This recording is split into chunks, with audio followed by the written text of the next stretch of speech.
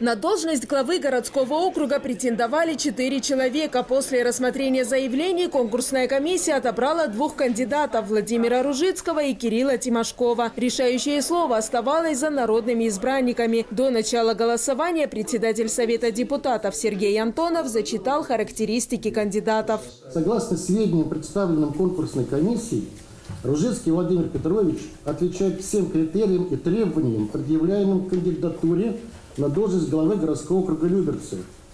Имеет большой практический опыт работы в органах местного самоуправления. Тимошков Кирилл Александрович отвечает критериям и требованиям, предъявляемым кандидатуре на должность главы городского округа Люберцы. Имеет опыт работы в органах местного самоуправления. На заседании присутствовал 31 депутат. 29 из них проголосовали за назначение главой городского округа Люберцы Владимира Ружицкого. Отныне он будет занимать этот пост в ближайшие пять лет. К исполнению своих полномочий Владимир Петрович должен приступить не позднее 8 мая. Для меня достаточно это достаточно ответственный момент, достаточно волнительный, хотя работаю я не один год. Эти годы мы со многими, кто в этом зале, работали вместе, к плечу, решили те вопросы, которые необходимо решать для жителей, для территории.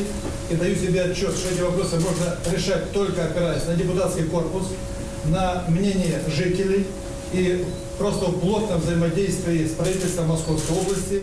Затем народные избранники продолжили свою работу. В повестке дня было рассмотрение вопроса о принятии за основу проекта решения об исполнении бюджета Люберецкого района за минувший 2016 год. Свои доклады зачитали сотрудники администрации всех пяти городских поселений. Луиза Егиазарян, Дмитрий Шарапов, телеканал ЛРТ.